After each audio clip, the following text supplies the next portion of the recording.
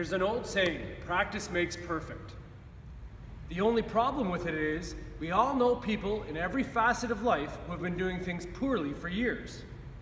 A player who, after years of experience, still can't shoot. Phil with that unusual release. A coach who has never been able to help his or her team win. A teacher who, after years, still can't reach their students. So we are learning about the history of numbers. We're starting with the Babylonian. Everybody copy this down.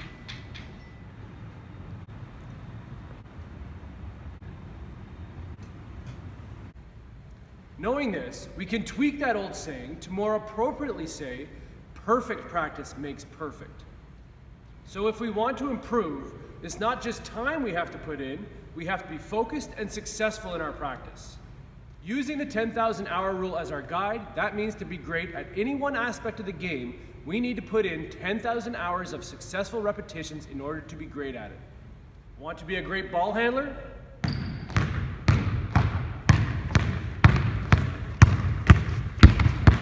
Ten thousand hours of perfect practice. Want to be a great three-point shooter?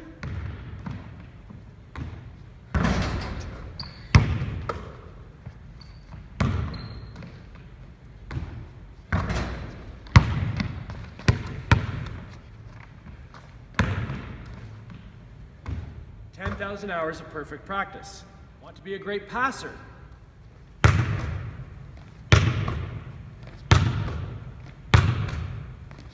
Thousand hours of perfect practice.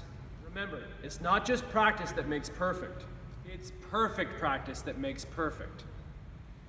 All right, I hope you found that 60 second lesson helpful and can use it to improve your game.